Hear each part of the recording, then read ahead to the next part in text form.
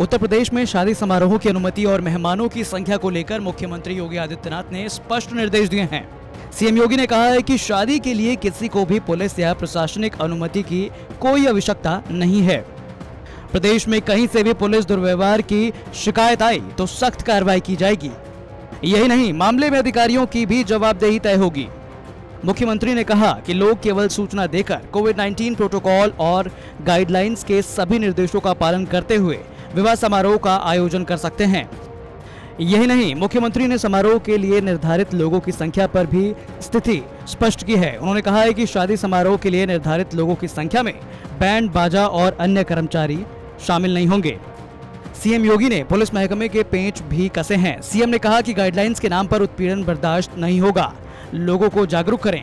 Guidelines का पालन करने के लिए प्रोत्साहित करें। दरअसल शादी ब्याह को लेकर के केंद्र की नई गाइडलाइंस के बाद ये तय किया गया कि 100 से ज़्यादा बाराती या मेहमान एक जगह पर इकट्ठा नहीं हो सकते, जिसकी वजह से लोगों को अड़चने शुरू हो गई। यूपी में इस वक्त शादियों का मौसम है और इसमें तमाम लोग इकट्ठा हो रहे हैं और ऐसे में परमिशन के नाम पर पुलिस से शिकायतें आ रही थी कि वो परेशान कर रही है। दरअसल इसमें यह भी गाइडलाइन थी कि अगर किसी को शादी करनी है तो दो महीने पहले डीएम से परमिशन लेनी होगी कि कहाँ पर वो शादी कर रहे हैं और कितने मेहमान इसमें शामिल होंगे। इसी के चलते सहालक का सीज़न शुरू होते ही पुलिस ने कुछ लोगों को परेशान करना शुरू कर दिया। सीएम तक जब इसकी शिकायत पहुँची तो बहुत सख्त लहजे में योगी आदित्यनाथ ने साफ़ किया कि अगर ऐसा होगा तो ठीक नहीं होगा।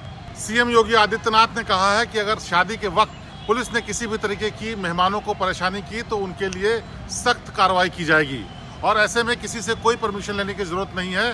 गाइडलाइंस का पालन करें और सोशल डिस्टेंसिंग का पालन करें और अपने कार्यक्रमों को अच्छे से मनाएँ। लेकिन अगर पुलिस ने बेजा परेशान किया तो उनके खिलाफ सख्त कार्रवाई की जाएगी।